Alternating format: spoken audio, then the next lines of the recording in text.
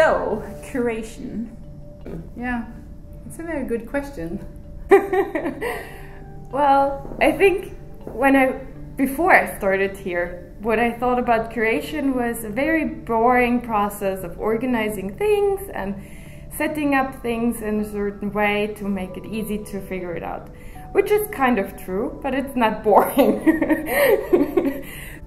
the term is uh, borrowed from uh, maybe librarians. mm, yeah, it's kind of like a museum curator yeah. who picks out um, kind of interesting artifacts, I guess, and takes care of them and presents them in the museum.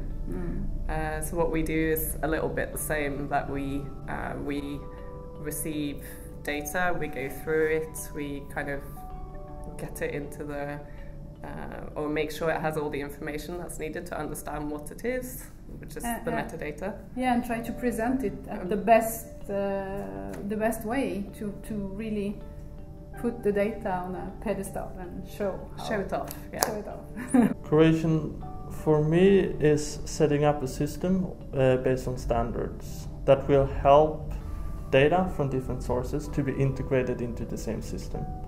And we as curators, we helping people to achieve this so that people can retrieve data from all over the world. Uh, curation is quality control.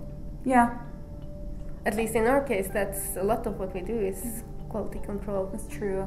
And another aspect that I always think of is putting something into context. Mm-hmm. Because having just a collection of something, if you don't know how it ties in with everything else, then it, it's not that much, like, it's not as interesting as when you know, oh yeah, that's why you're doing this. That's why he or she did that. Or now this makes sense as a piece of something. It's not individual.